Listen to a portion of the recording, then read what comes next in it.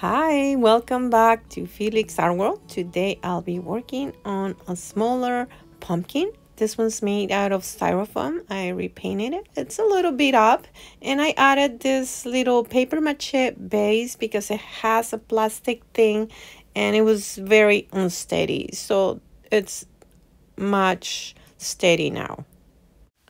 Right here I have this bronze metallic bronze by Folk Art and I added Flow Aid to it to make cells. I will begin pouring the white, the unbleached white by, this is by Liquitex, uh, the basics line. And it's thicker than it would be for a canvas because it's easier to control on a three-dimensional object. If it's too runny, it's, um, it's a little harder. Now I'm moving to a brush so I can get full coverage on it. The color palette I'm using for this project is this turquoise. I combined two different colors and same with the orange. Combine these two different colors, two different tones of the same color the brown is actually orange with a lot of black. And the dirty white unbleached titanium. And the bronze with Flow Aid by Liquitex. Everything is combined with, mixed in with Floetrol. And I will begin with the brown, which is actually a super dark orange.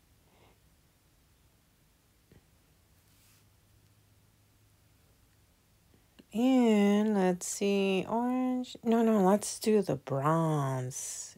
Ooh, I hope to see some cell action.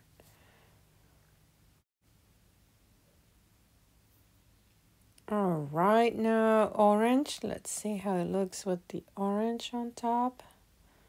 Well, it's gonna be layer. I'll be adding more and more paint. And right at this point, I began to accelerate the video to save time and, and so that this video is not as long. So that's why the paint looks like it's flowing faster, but in reality it was flowing rather slow. And it's accelerated to twice the speed.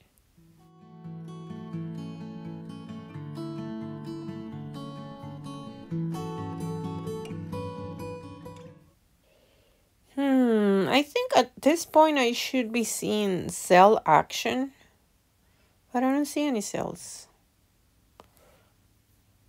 That's weird. Oh well, sometimes it happens, sometimes it doesn't. I think this art form is really good to be detached from the outcome because you know it's so we have less control over the paint and what the paint's gonna do in this style as opposed to painting with a brush.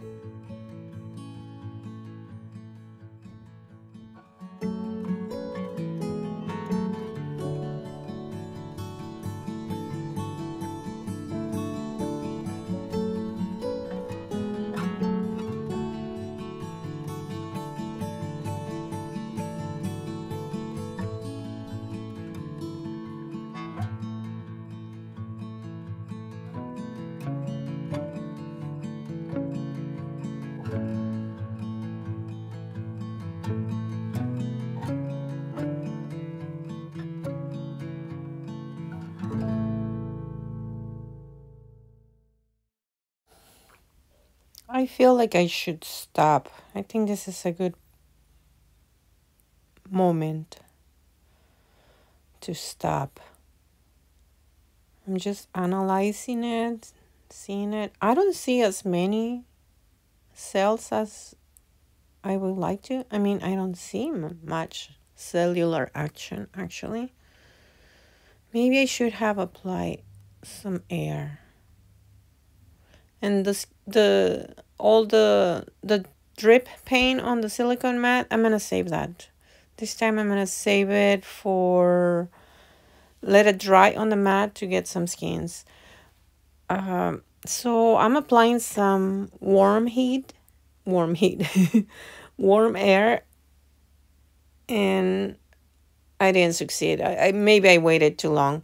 So now I'm playing with the skins, and um, I'm just gonna do a swipe, and maybe some cells will open up at least on the silicone mat.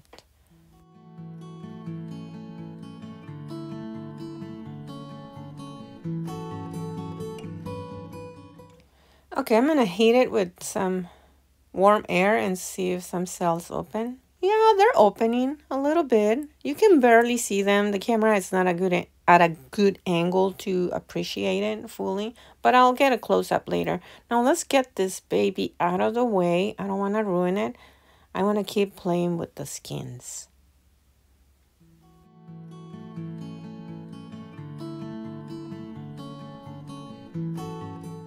Hmm, I think I'm going to swipe some of that paint, transfer it to this other silicone piece, silicone mat flat piece to do something slightly different with that one.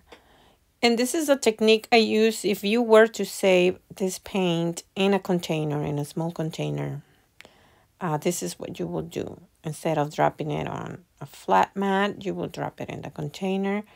And you can save it for a while, reuse it for another project, use it as a basic, as a base paint, pillow paint on your canvas or whatever project you're working on. Okay, I'm gonna keep swiping and hopefully I get some more cell action.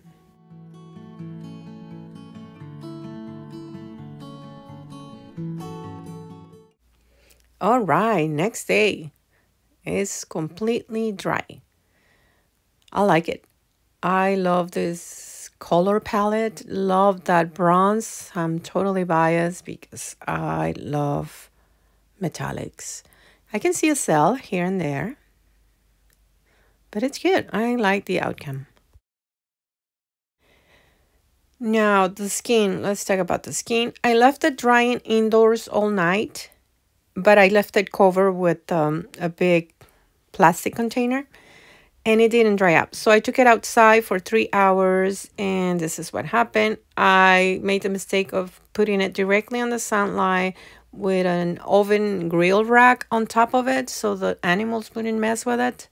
And it casted a shade and left marks. I really don't know how that worked out. It wasn't touching the paint. I don't know.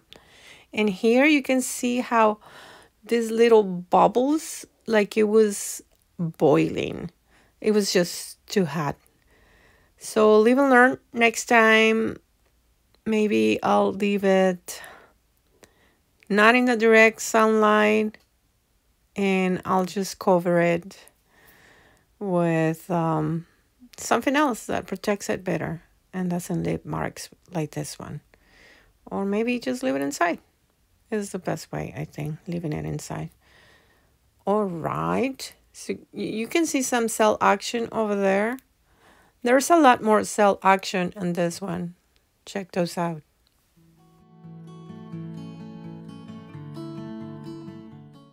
And I made jewelry with the other skin I set aside, the one I swiped off. Uh, the domes, they're made out of plastic. You can buy them already made. So it's not resin. I mean, not a resin that I mix here at home. It's uh, it might be resin, but or plastic, and it's just ready to be glued on your pendants. I think it looks beautiful. I really love that orangey bronze color. All right, we are done with this video. This is the end. Thank you for your attention. Thank you for watching and give it a like and subscribe. Thank you. Ciao, ciao.